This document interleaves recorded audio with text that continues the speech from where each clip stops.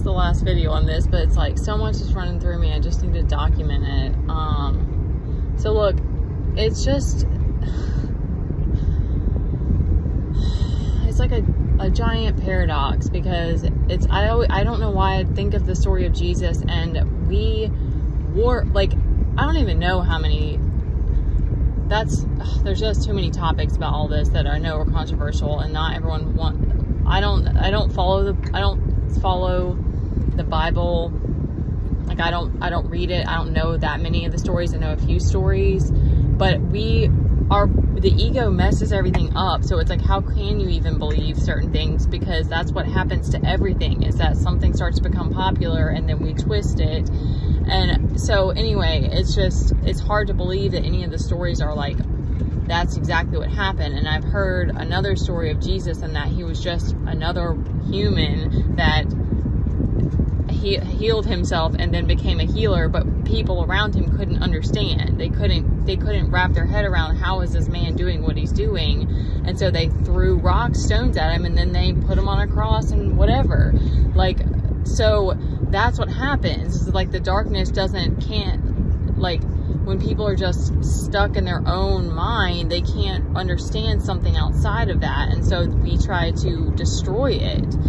Um and that's what happens. Like that's the awakening process is like you start to grow in awareness but the people around you are still trying to pull you back down. So that's where it's like at some point you have you start to see more and more and more like the ridiculous the like what is the word? The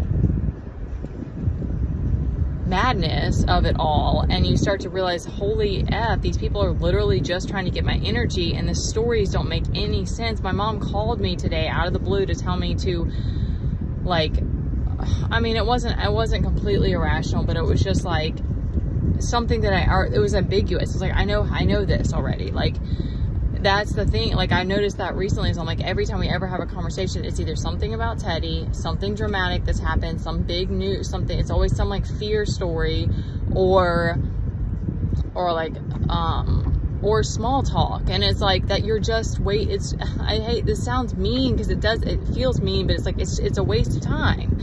It's like anything just to take your time and energy and that's what that's the shift that happens because the more your vibration goes up the more like the darkness is going to try to like pull you back down. You okay? Um, but you're growing, you're growing in your awareness and you're, you're able over time, you're able to catch people and their stories, um, more quickly. But, and that's to me why it's like, I don't want to get mad. I don't want to like flip a table. I want to be, I actually did do that once.